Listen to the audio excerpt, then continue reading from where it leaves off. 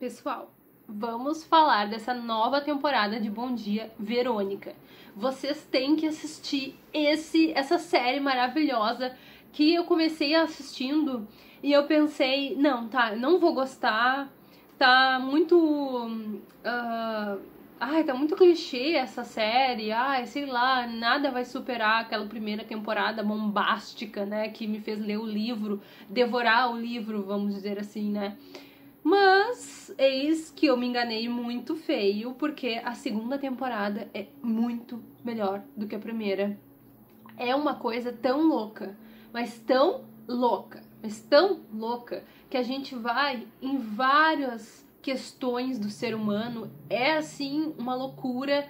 Tem a Clara Castanho, que para quem não sabe, ela recentemente abriu para o público que ela teve, ela foi estuprada, teve um filho e teve que dar o filho para adoção na adolescência.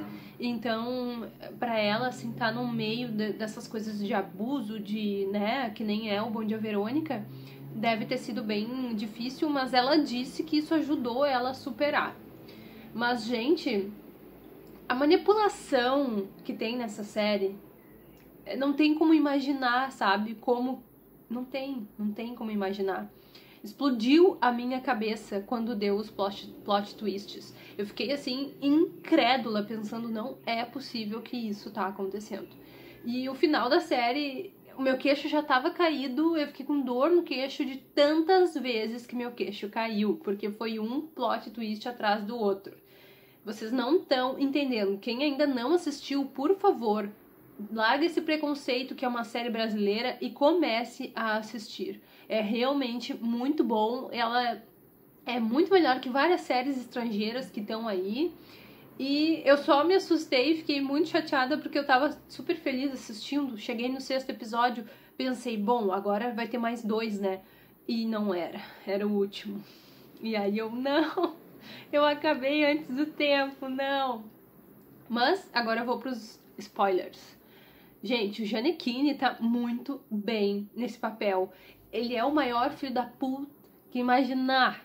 Tu não consegue, assim, olhar na cara dele e me pôr no lugar ali da Ângela, sendo filha dele e despertando pro mundo que ele é uma pessoa ruim. Eu não sei.